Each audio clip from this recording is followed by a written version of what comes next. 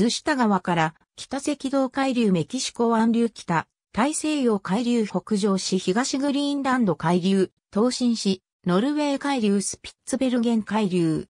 ノルウェー海流は北、大西洋海流の俗流で、ノルウェー海を北上する海流を言う。ノルウェー北方で2分し、スカンジナビア北岸沿いにバレンツ海に向かう海流とスピッツベルゲン島に向かうスピッツベルゲン海流となる。流速は0.5ノット程度で、流量も約300万トンに過ぎないので、海流としては大きなものではない。しかし、北極海の海流には重要な役割を果たしており、この流量はベーリング海峡からの流入量のおよそ10倍と言われている。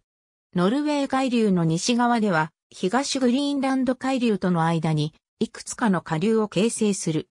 東側ノルウェー沿岸部には夏には高温、冬には低温となる低塩分なノルウェー岩流があって、ノルウェー海流本体との間には顕著な潮境が見られることが多い。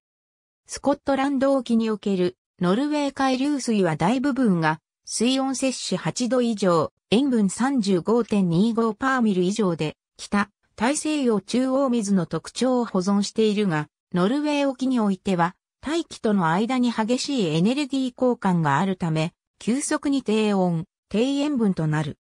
ノルウェー沖の夏の水温が高いと、これに続く北欧の冬から春の気温が高い傾向があるという。また最近における北極温暖化やタラギョバの北限はノルウェー海流勢力の増大が有力な一因と言われている。ノルウェー海流域の西側では冬季の冷却によって表層水は密度が高まり深層まで沈降することができる。